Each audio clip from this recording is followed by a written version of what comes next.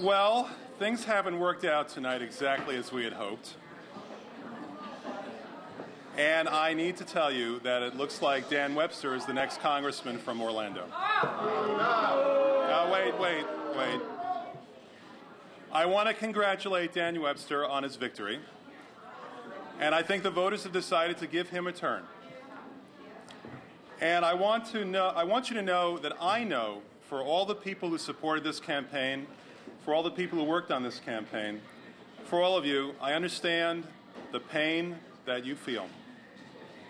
I feel a little of it myself. But I want us to remember that's nothing compared to the pain of someone who is sick and cannot see a doctor. It's nothing compared to the pain of someone who is unemployed.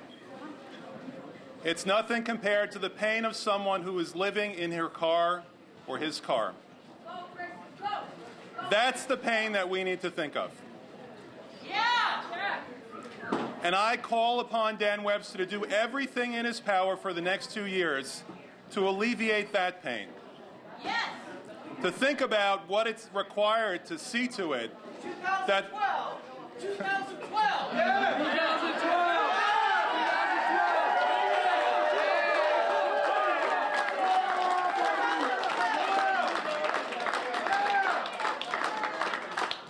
Go down like that.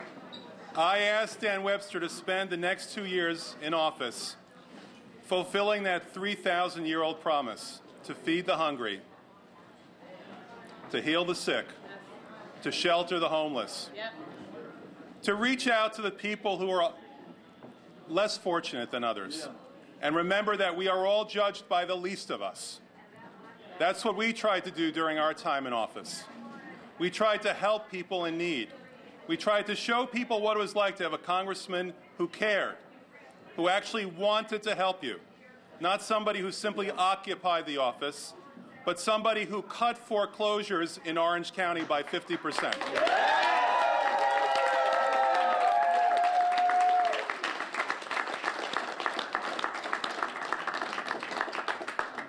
Someone who recognized that we were being shortchanged by the federal government year after year and did something about it, doubling the federal grants that came into this district in one year.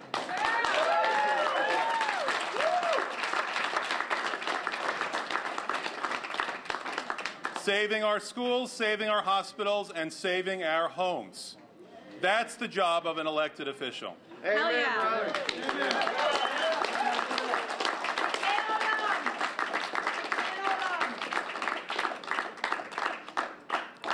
Our job is not to comfort the comfortable and afflict the afflicted. Our job is rather to comfort the afflicted. And that's what I tried to do for two years. Now it's Dan Webster. Thank you.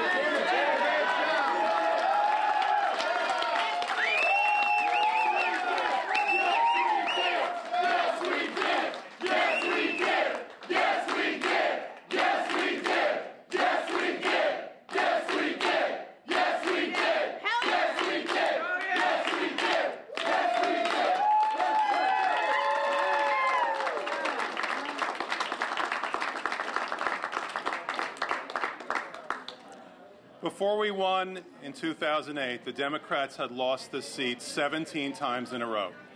This is a gerrymandered district designed for a Republican, and in 2008 we won by only four points.